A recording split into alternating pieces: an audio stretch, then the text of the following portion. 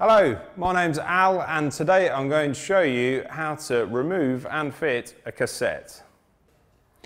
Today we'll be swapping a Shimano cassette. You don't need a lot of tools, some paper towels, a chain whip, a Shimano HG lock ring tool, the cassette that you're going to fit and a bit of grease. So this is the bike that we're going to be working on. So we're changing the cassette, which is the sprockets at the back on the rear wheel. There's a couple of reasons why you might be wanting to do this. Perhaps you've just fitted a new chain and you found it slipping on the worn cassette.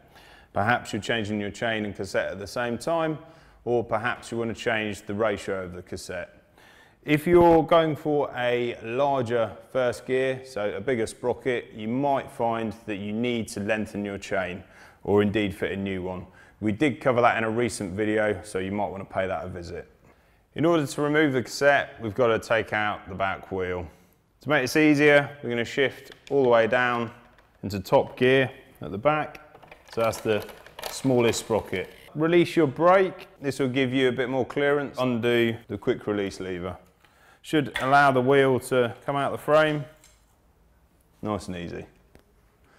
With the wheel out the bike, we're ready to remove the cassette. Undo the nut from the end of the quick release. Make sure you've got the small spring as well. The spring on the other end. Just nip the nut on there so it's all safe. In order to remove the cassette, we're going to need a chain whip. This holds the cassette stationary, stops it from freewheeling. So just wrap the chain around one of the smaller sprockets and grab your HG lock ring tool. And we're pushing that down, undoing the lock ring in an anti-clockwise motion.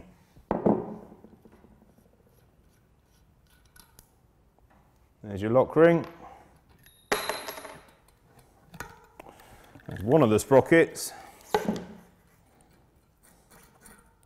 And there's the rest of them. If you're going to keep it, run a zip tie around all the sprockets and the lock ring just to keep it all together and safe because there's lots of different bits. Some of them are all attached. It's your main cluster at the end, and then the rest, for the most part, will be individual sprockets and spacers. With the cassette off the front body, you may as well give it a clean. You don't see it all that often, so give it a treat. Then you're ready to fit the new cassette.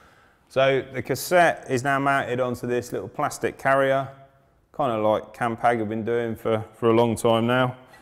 On the front body, you'll notice that there's a space for a, a large spline. So the tab pulls off and this notch shows where the large spline on the cassette is. So it'll slide straight on onto the front body. If you line them up, like so. They should go straight on in one easy movement, like so. Saves having to put them all on individually. Then just remove the, the lock ring and the final sprocket, fit that in place with a large spline and a large space on the front body and then with a little bit of grease on the threads. You can tighten the lock ring into place. Always nip it up by hand to start with. Before you get the tool out and really crank down on the lock ring, just make sure that everything is as it should be. If you fail to put them on using the new plastic carrier, just make sure that the sprockets are all aligned as they should be. So obviously you haven't got any larger sprockets mixed up and they're all in the, in the proper order. Check that everything's seated properly, especially the final sprocket, because if you've not quite got it online, it can still be possible to tighten up the lock ring and you could damage something. Give it a spin, if it all looks good, then we're ready to tighten the lock ring. Tightening torque is 40 newton meters pretty tight.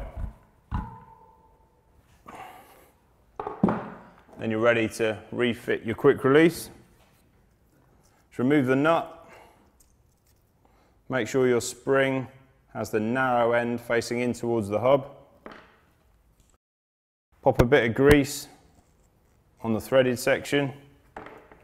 This will get smeared across the skewer as you insert it into the hub.